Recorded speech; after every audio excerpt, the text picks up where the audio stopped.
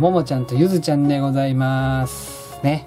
えー今回はですね、まあちょっと触れていいかどうか悩みましたけど、お話をしたいなと思います。えー、沖餌について、皆さん、お考えどうでしょうか？ね、沖餌って何なのかっていうんですけど、まずあの、大きな公園とかでよく見かけます。えー、猫のテリトリーのところにですね、えー猫の、まあ、餌、まあ、ペットショップ等で買ってくるんでしょう。えーそれをこうなんか緑とか、えー茶色とかいろんなね形した、えーちょっとしたカリカリを山盛りにこうわーっとこう、えー置いとくわけですねそのテリトリーのところに。ねそれをまあ公園での置き餌と。まあ、言うんですけどこれ賛成派否定派あると思いますけど皆さんはどちらですかね私は否定派になります、まあ、賛成派の意見まあ、分からなくもないんですよ。あのー以前私もペルシャ猫飼ってたんで、まあ、猫に対する気持ち分からなくもないんですね。えー、なんていうのかな。まあ、かわいそうじゃねえかと。飢え死にしちゃうじゃねえか。野良猫たちがね、えー、餓死しちゃうじゃん。ね、動物保護のためにやってんだ。いろんな意見があると思いますけど、まあ、そこまで言うんだったら、ね、約365日間、ほぼね、毎日、えー、沖餌しに来る人って大体決まってます。ね。じゃあ、買えばいいじゃない、引き取ればいいじゃないって思うんですよね。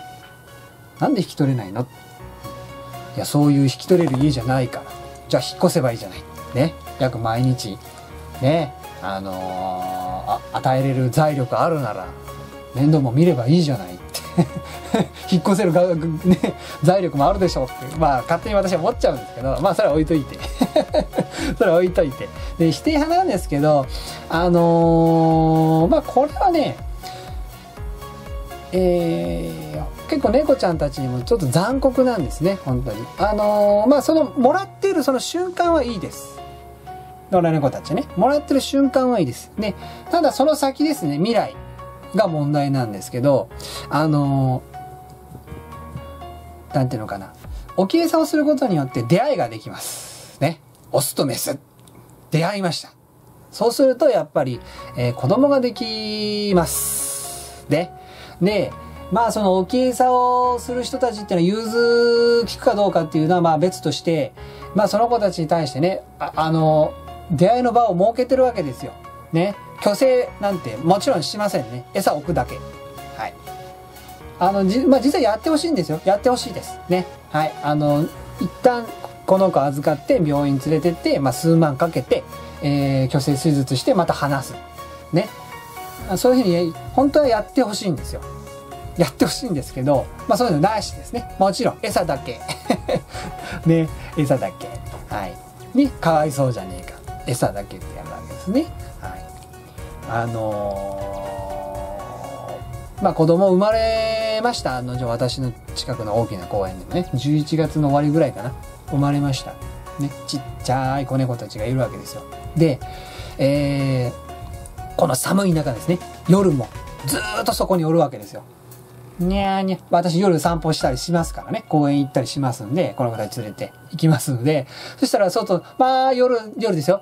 まあ真っ暗な中、にゃー、にゃー、にゃー、ずっと言うてるんですよ。にゃにゃにゃにゃにゃにゃ言うわけですよ。寒い中。まあ寒い中ね。言うわけですよ。その時の状況はこの人考えたことあるのかな、お計算の人たちはって思うんですね。はい。で、あの親は何してんのって話ですね。親猫たち。ね、何にもしません。ほっぽりっぱなしです。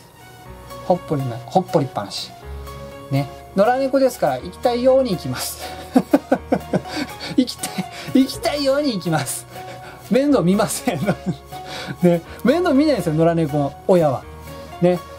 あの、ここの公園は置き餌、餌がもらえるから来てるだけっていう感じですね。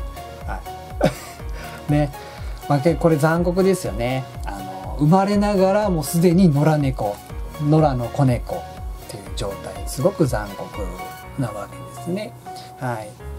ね、こういうことがあるから本当にやめてほしいっていうのがまず一つなんですけど、まあ、今後、で、次はね、あの、まあ、我々散歩している飼い主さんたちもちょっと影響が出てくるんですけど、おっきいさんにですね、やっぱりワンちゃんたち反応します。それはしてしまいます。ね。あ、美味しい匂いがするって。ね。なりますから。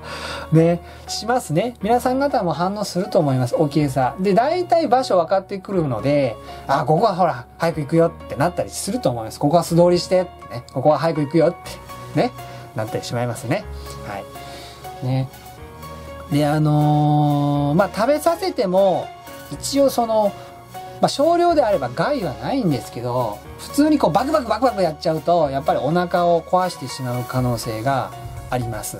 はい。なんでかっていうと、あの、ワンちゃんのご飯と猫ちゃんのご飯っていうのは、えー、別物です。栄養素と別々でございます。ね。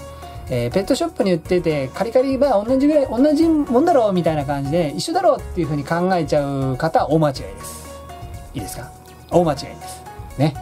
えー、気をつけていただかないと、どえらいことになります。特に、ワンちゃん、猫ちゃん、両方飼ってる飼い主さんですね。えー、1個のやつで全部2人ともこう上げてるよなんていうのは ちょっと心配です。はい。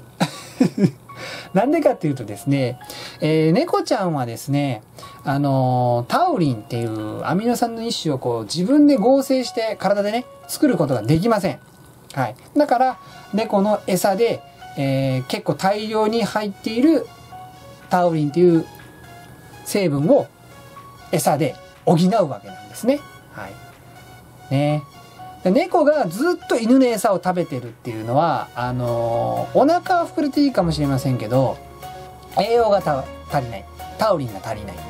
だから、えー、要は偏って食事になっちゃうわけですね。人間で言うと肉ばっかり。野菜全然取らない。もう野菜何十年も取ってないみたいな感じですね。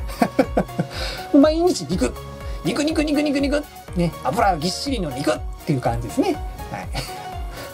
皆さん考えてみればわかると思いますね。こういう生活したらどうなるか。すぐ病気ですよね。はい。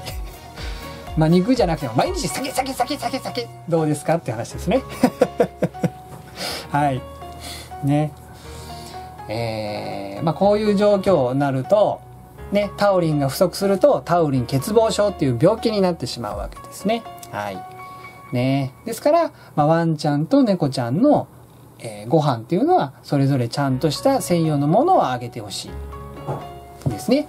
で、えー、その置き餌の置いてあるのはやっぱりこうワンちゃん用の犬犬用のねワンちゃん用の、え、餌ではありませんので餌ではありませんのでやっぱりこうパクッといかれると困っちゃうわけですよ。まああんまりそんなね少量であれば害はないんですけどね、はい、たくさん食べちゃうとタオリンいっぱい摂取してお腹壊してしまうわけですね。はい。栄養素ちょっと多すぎ、タオリン多い。ちょっとちょっと、ちょっともうこれ以上タオリンは無理っていう感じなんですね、体が。はい。だから、えー、我々もあんまり全く無関係というわけではないわけですね。はい。ね。なので、まあ、あ否定派ですかね。はい。あまりお計算はしないでいただきたいっていうのがまず、まあ、2つ目でございます。ね。まあ理由はたくさんありますけどね、他にも。はい。ですんでね、えー、まあ私の考えでございます。今回はね、あの、ちょっと全然ワンちゃん関連の話とは少しずれた話になっちゃいましたけど、皆さんね、えー、ご意見はいかがでございましょうかね。まあ賛成派、否定派あると思います。ね。まあ決められてないので、どっちもい、どっちの意見もね、まあ正しいってなっちゃうんですけどね。難しいところでございます。ね。ご参考になりましたでしょうか。